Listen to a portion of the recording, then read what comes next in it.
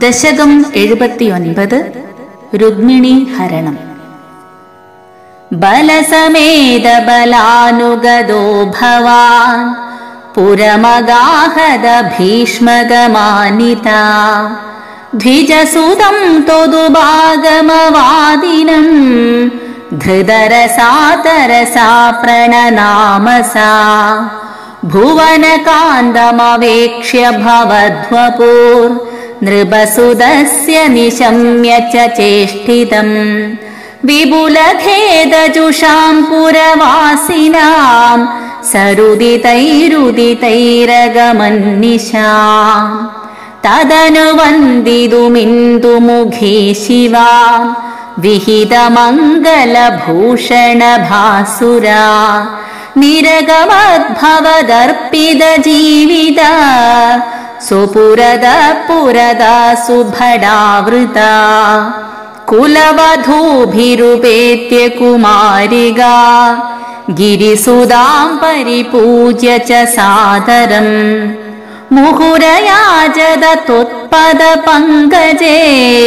निपतितापतिताम् तव केवलम् समवलोककुतूहलसङ्कुले नृपकुले नृभृदम् त्वयि च स्थिते। नृपसुदा निरगागिरिजालयात्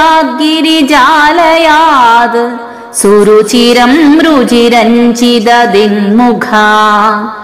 भुवनमोहनरूपरुजातया विवशिदाखिलराजकदम्बया त्वमपि देव प्रमदया मदयाञ्च कृषे मनाक्। क्वनु गमिष्यसि चन्द्रमुखीदिताम्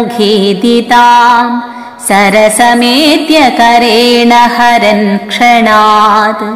समधिरोप्य रथम् त्वमपाहृधा भुवि ततो विततो निनदोद्विषाम् क्वनु गदः पशुपालयिदि क्रुधा कृदरणाय दुबिश्चदिदा नृपा न दु भवानुदचाल्यदतैरहो पिशुनकैशुनकैरिव केसरी तदनुरुग्मिणमागदमाहवे वधमुपेक्ष्य निबध्य विरूपयन् हृदमदम् परिमुच्य बलोक्तिभिः पुरमया रमया सह कान्तया नवसमागमलज्जितमानसाम् प्रणय कौतुकजृम्भिदमन्मधाम् अरमय खलु नाथयधा